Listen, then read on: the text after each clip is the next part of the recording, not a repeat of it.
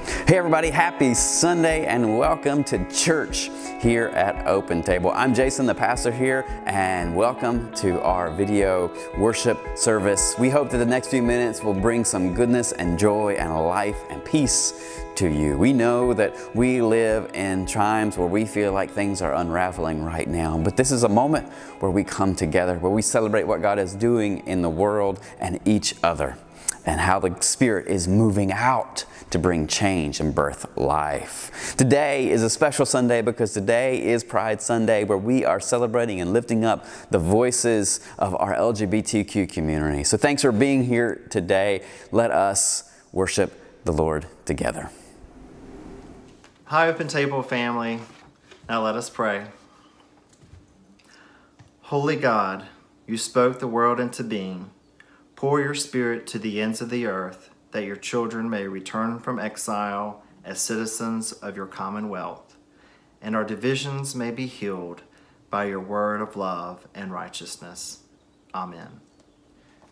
And hear us as we pray the words that you taught us to pray. Our Father, who art in heaven, hallowed be thy name. Thy kingdom come, thy will be done, on earth as it is in heaven. Give us this day our daily bread, and forgive us our trespasses as we forgive those who trespass against us. And lead us not into temptation, but deliver us from evil. For thine is the kingdom, and the power, and the glory, forever and ever. Amen.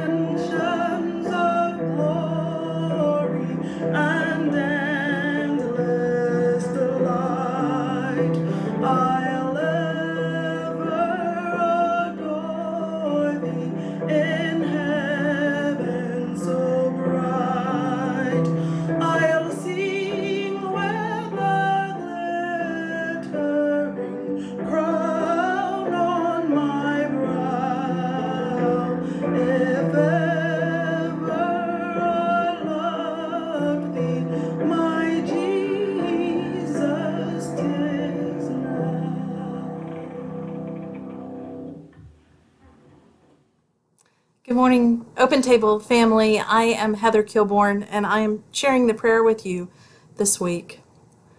It has been a very hard week, a very heartbreaking week, and I have chosen to pray the words from Bishop Woodie White today. Bishop White marched with Martin Luther King, and he wrote this prayer as a benediction in 1996 at the United Methodist General Conference in Denver, Colorado. It is not a prayer for the for the weak at heart, but it's a prayer that we all pray together boldly. So I invite you to pray with me.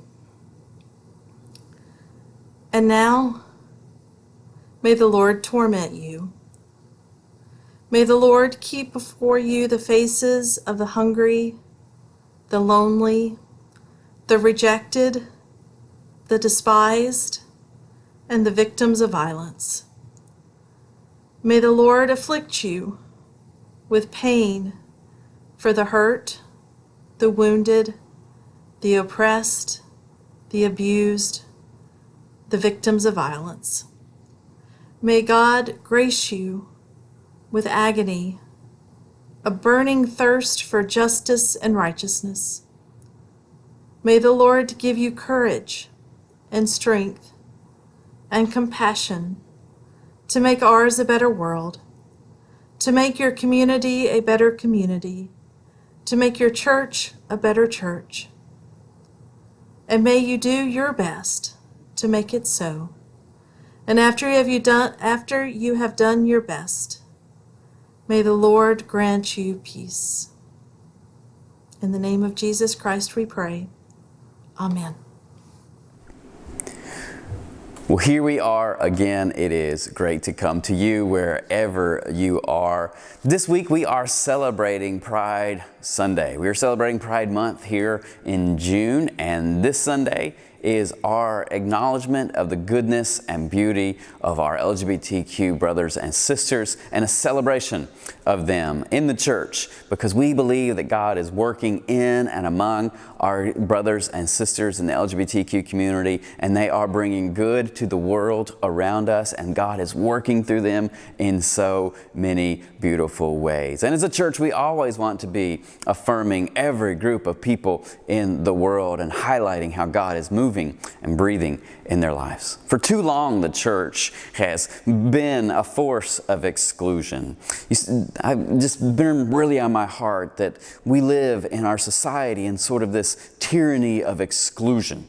And the church should be a force of kinship, of, of a kingdom of God, where our boundaries are overcome, where our divisions are no longer. And as we are in the season of Pentecost, I just love the, the, scripture in Acts that says this. After the Spirit had come and Peter is preaching, he says this In the last days, God says in Acts 2, I will pour out my Spirit on all people. All people. Your sons and daughters will prophesy, your young men will see visions, your old men will dream dreams. Even on my servants, both men and women, I will pour out my spirit in those days, and they will prophesy. You see, in this day, many of the religious leaders said that God's Spirit could only be on this group of people or on that group of people. But what Pentecost does in the opening of the Spirit is saying that God now is working through all people everywhere. There are no divisions, no hierarchy in the kingdom of God, no uh, determinations of like the Spirit's going to do there or here or here. The Spirit is on all flesh, everywhere. And many believed in Jesus' day that, that people who were servants or women or, or outsiders to the Jewish faith were not included in God's work, that they weren't good enough, that something was wrong and broken with them. That was the case here at Pentecost. When Pentecost and the Spirit comes, God is saying all people are worthy and valuable and good because God is putting the Spirit on all people, and that is the mark, the branding of God's goodness, God's grace, God's life. I just love that. In this age in our in this moment in our society it seems like the church and many in our society are pushing each other away saying well you can't act that way and you can't be this way and you can't have that and you can't do that and God doesn't approve. But Acts says God's spirit is on all people everywhere that all people are created in the image of God and God is love. In Corinthians it says love never fails Love always wins. And so today we celebrate love. We celebrate the beauty and diversity of our community. We celebrate the beauty and diversity of our LGBTQ brothers and sisters and proclaim with a resounding yes. God is working in you and through you. God's image is branded on you, and we affirm that. And we celebrate that. And we are thankful for that. And we will follow that as a church. And we believe this is a prophetic task of the church, is to usher in the flourishing of all people. And the only way to help people flourish is to embrace them, empower them, see them as beautiful and good and holy, and stand beside them and say, I'm here. We are kindred spirits, and we will do life together. Maybe that's what the world needs right now is for the church not to look at who's out, who's left out, but to say, We celebrate you. It is not our job to judge how somebody is carrying their pain, but to be in awe of how they're carrying their pain and saying we should be looking at the communities around us and saying, wow, uh, we've got something to learn from you You have been through so much, and yet here you are. We shouldn't be bringing each other down. We shouldn't be tearing each other down. We should be lifting each other up and saying, Look there. They are amazing. Happy Pride. Black Lives Matter. No person is illegal. These should be the chants of the church because they are all about the flourishing of the future of every single person. They are about an, an embrace and inclusion, not an exclusion. And so today we celebrate our brothers and sisters. We also celebrate us as a church being an affirming spot. Our church, our world needs more affirming churches.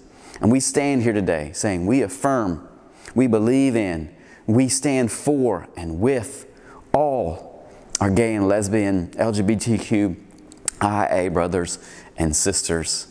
Thanks for being a part of this church. And we thought today what would be beautiful is not just to hear from me on the impact that an affirming church can make, but for you to hear from some of our beloved open tablers as well on the impact that we are making in people's lives as we seek to be a place of love and a place of inclusion. So here they are. Hey everyone, this is Derek. My partner Eddie and I have been attending Open Table since launch Sunday, January 2018 since the COVID-19 uh, pandemic has hit, uh, we've all had the realization that there's many things that we do day to day that we have been taken for granted and realize what they were actually blessings. One of those, of course, is attending church regularly on Sunday mornings. But for myself and many of us in the LGBTQ community, uh, that was a realization that we had to encounter when we first came out. When you are faced with not being able to worship where you have normally been and you have the realization that you're not really welcomed at that, that place anymore. And recently, when Eddie and I were trying to find a church home, uh, we embraced or encountered some of those same obstacles. That is until we came to Open Table and where we were welcomed and embraced and felt very, very valued to be a part of such a wonderful and loving community. Um, as we all know, Jesus welcomes everybody to the table. And I, for one, am very, very grateful that Open Table saved me a seat. Hello, Open Table family. My name is Sade Gilbert, and I am here today, and I'm just thankful to be a part of the Open Table family. How did I get here?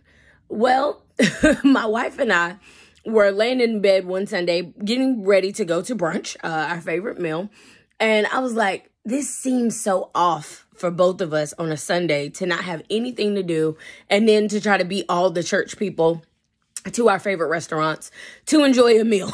that was our whole goal. And it was so different for she and I because we were both raised in the church. Um, I've been in church since since I can remember, whether it was a vacation Bible school, Bible study, scripture memorization, um, dance team, a step team, praise and worship team. I've been in all of it since I was a, a child. And so it was very difficult Sunday mornings to wake up and only focus on what I wanted to eat. And I was not being spiritually fed. And so I made a Facebook status and it said, Hey guys, you know, Jurlise and I are looking for a church home in the Raleigh Durham area. We are sinners because we're we're men, you know, man, woman. Um, and so we're made of flesh and so we sin. I said, but I don't want to go to a church where they think who I love is the sin. There's a lot of things I need to get delivered from. I'm a selfish person, but a sinner as it relates to who I love, I am not. So do not send me to any of those ministries, but feel free to let me know if you know of a affirming ministry. And my friend Autumn commented and said, Hey, have you guys checked out Open Table?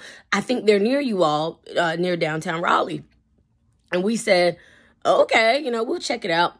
So we went to service and uh, we loved it. It was like, it, it, was a great word from Jason that day and it felt like a weight off of us. And so we said, you know, we'd come back. And we came back because consistency is important. Um, we had gone to other churches before been there for a couple Sundays and they would say, you know, they're open and affirming, but then they would have a guest preacher who would condemn homosexuality. And so it's like, eh, are you really open and affirming? So anyway, um, it was important as we came for I think a month, so four Sundays back to back. And every time Jason's word was so poignant to what was going on, whether it was in our personal lives or at our work or wherever. And um, it was just nail on the head every time. And when we came in, Judson was there. And I think he was playing the organ or the keyboard. And it felt like home. It felt like home it felt like what we had been missing. And so after, you know, a couple months of attending, we decided to get active and figure out what we needed to do to be able to join the church. And, you know, the story goes on from there. But I just want to speak to the fact that it was so humbling and emotional for us to be able to find a place that wanted to get to know us based on who we were and not who we loved. Make no mistake, I'm black. When you look at me, people see the color of my skin before they know who I'm married to or who I love. It does not matter, right? So it was very important for us to find a church that was inclusive, not only of uh, us being part of LGBTQ community, but also us being black. And I'm just so thankful to be under a leader who stresses the importance of my black life mattering, my gay life mattering, all lives mattering because they all matter in the in the kingdom of Christ. So I just want to say I'm very thankful uh, to be here. It is Pride Month. I do have tons of pride, but one of the things I'm most proud of is being a member of Open Table United Methodist Church. Uh, I know the United Methodist group is going through a lot of turmoil, um, but so is America, and I think a revolution is rising. And I'm happy to be a part. I'm happy to represent Open Table, and I'm happy to tell people who my pastor is and what church I attend in Raleigh because I we are built on a firm foundation. And so I just wanted to share what was on my heart today. I hope that blesses somebody. And if you have, you know, some friends who want to hear from, you know, an LGBTQ member about whether this church, you know, is for them, give me a call, shoot me a text. Um, I will gladly talk to people because it has truly changed my life. It has changed my wife's life. Uh, and it's changed the lives of our friends because they see Christ in us, and that's important for that to be taught in the pulpit. Um, I hope you guys are having a great day and a happy Sunday. Uh, God bless all of you. Black Lives Matter. Good morning, Open Table. My name is Josh, and I'm here to talk to you about Pride Month. For me, pride has never really been about shoving my beliefs in anyone's face. Um, for me, pride is simply the absence of shame. And for so much of my life, I carried a lot of shame about who I was and how I felt and shame about who I wanted to love. And unfortunately, a lot of that shame came from my time growing up in the church. Uh, the messages I heard as a kid about LGBT people and how they were disgusting and evil and sinful and would never uh, get into heaven, you couldn't serve Jesus, um, just really gave me a lot of shame about who I was and really made me hate myself. Um, I got to a point in my life though where I knew that I was who God created me to be and that I needed to embrace that and live my life the way that He made me. Um, I also knew that my faith was extremely important to me, and I was so thankful to Jesus for what He had done in my life and the ways that He's blessed me and everything that He's done for me. And I didn't want to just walk away from Him. So I really needed to try to reconcile my faith with my sexuality and was able to do that through reading and research and praying. But I was I was so afraid that I wouldn't be able to find a church that kind of nurtured that growth and had that same belief system. Um, so when Mitch and I found Open Table, it was such a godsend to have an affirming church that made us feel welcome and appreciated and valued and let us be who we are and serve in the church and prove that we have a place in the church community. Um, unfortunately, a lot of LGBT people are in my situation where their families don't understand and don't accept them. Um, I'm hoping and praying that that's going to change. Um, but if not, then one of the great things about being LGBT is that we get to choose our family. And Mitch and I have chosen Open Table as our family. Uh, we have relationships there with other LGBT members and other people in the church that are very near and dear to us. And you guys really are our family. So I thank you so much for the way that you have welcomed Mitch and myself and everyone else in our community. And just love us and let us serve and be those members of the body of Christ that we really are. Uh, I hope to see you soon.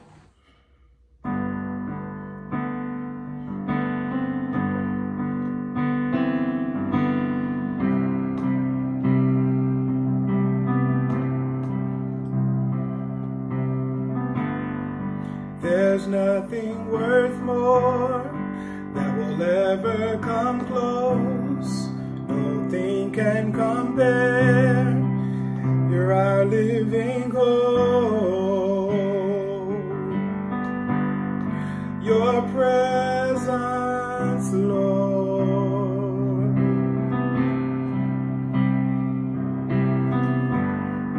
I've tasted and seen of the sweetest of loves, where my heart becomes free and my shame is undone. In your presence,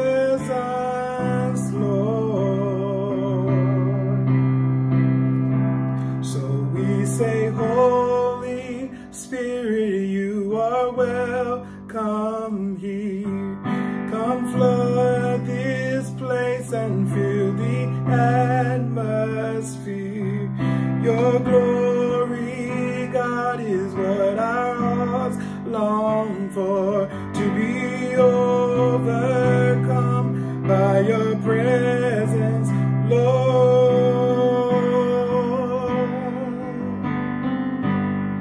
Your presence, Lord.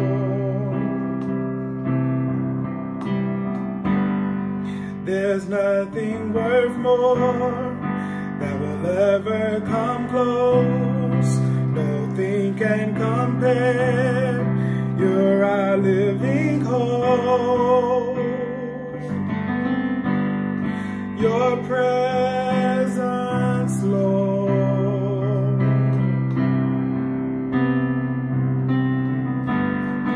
I've tasted and seen of the sweetest of loves, where my heart becomes free and my heart's shame is undone.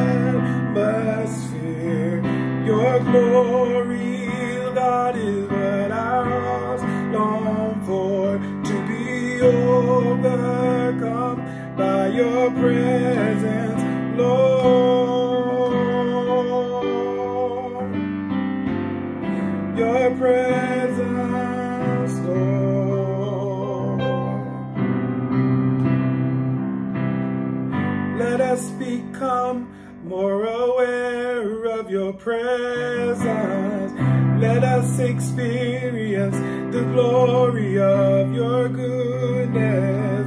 Let us become more aware of your presence. Let us experience the glory of your goodness. Let us become more aware of your presence. Let us experience the glory of your. Let us become more aware of your presence.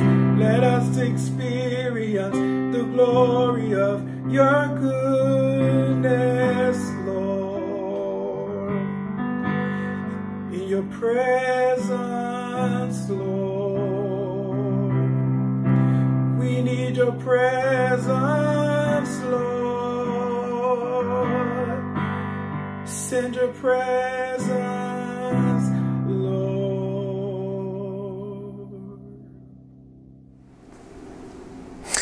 Well, thanks again for joining us for another service here at Open Table. I hope that today brought you a sense of blessing, a peace, and grace.